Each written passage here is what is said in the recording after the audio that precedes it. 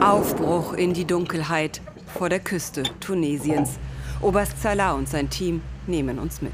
Es ist ein Einsatz, von dem Sie bereits wissen. Sie werden heute Nacht wieder viele Männer und Frauen aufgreifen, die voller Hoffnung in ein Boot nach Europa gestiegen sind.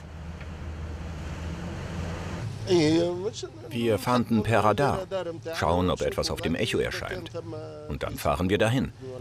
Und wenn wir Migranten sehen, dann stoppen wir sie. Es dauert nicht lang und sie entdecken ein kleines Fischerboot. Zwölf Personen an Bord, die versuchen zu fliehen.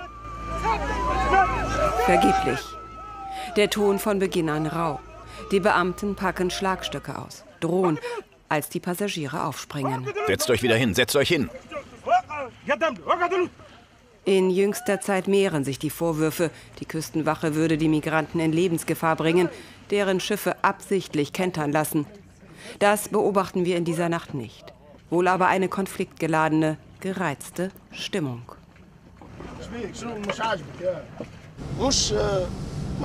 Es ist nicht so, dass sie nicht gerettet werden wollen, wenn sie in einer gefährlichen Situation sind. Sie rufen uns um Hilfe. Aber wenn wir dann versuchen, sie an Land zurückzubringen, dann wehren sie sich, sagen, sie wollen lieber sterben. Und es werden immer mehr, erzählt uns Salah, der den Job seit 30 Jahren macht. Die Fluchtursachen nehmen zu. Konflikte, Verfolgung, wirtschaftliche Not treiben sie über das Meer, wie diesen Tunesier, der sein Gesicht nicht zeigen will. Ich will ein besseres Leben. In Tunesien gibt es noch nicht mal mehr Getreide oder Brot.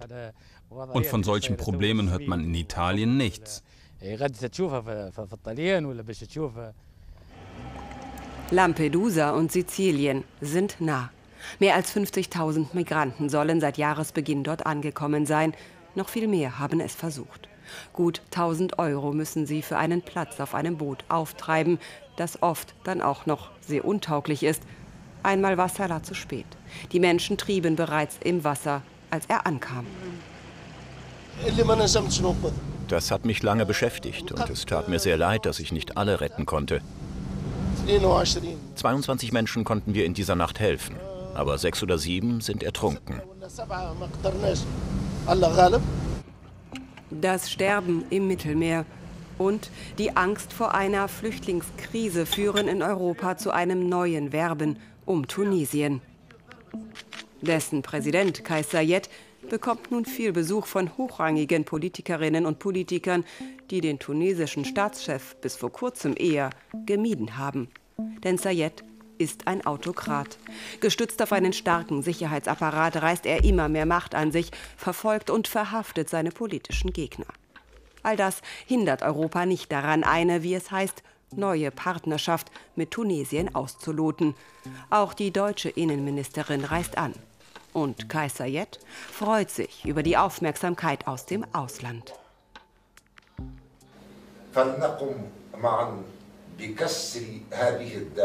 Lassen Sie uns diese Situation gemeinsam lösen. Aber ich möchte auch nochmal wiederholen, Tunesien kann seine eigenen Grenzen schützen. Wir weigern uns, ein Aufnahmeland für Migranten zu sein.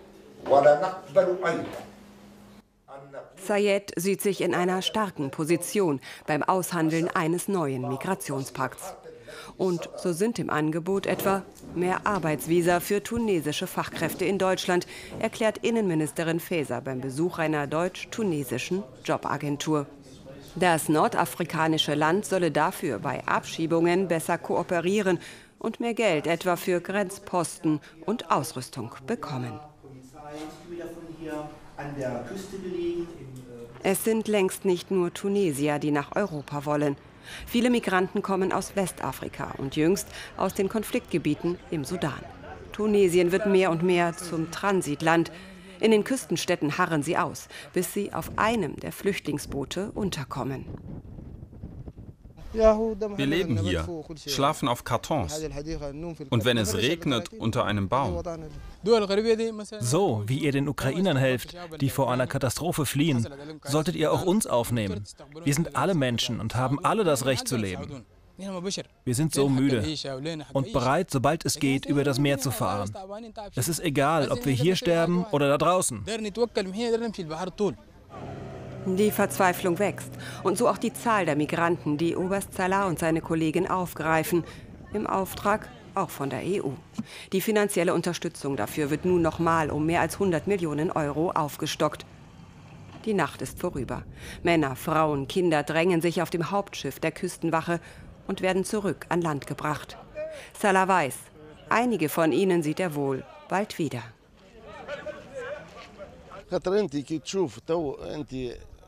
Wir waren jetzt die ganze Nacht zusammen. Wie ihr selbst gesehen habt. Die meisten der Migranten haben es schon fünf oder sechs Mal versucht. Wir greifen sie immer wieder auf und dann versuchen sie es wieder.